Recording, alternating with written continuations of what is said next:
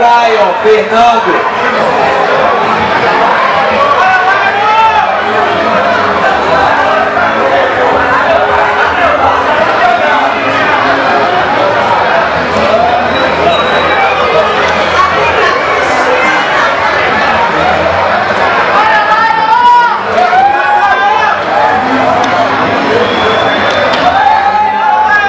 Para enfrentá-lo no corner vermelho da equipe FT Petrônio Batista, Elias Ramon.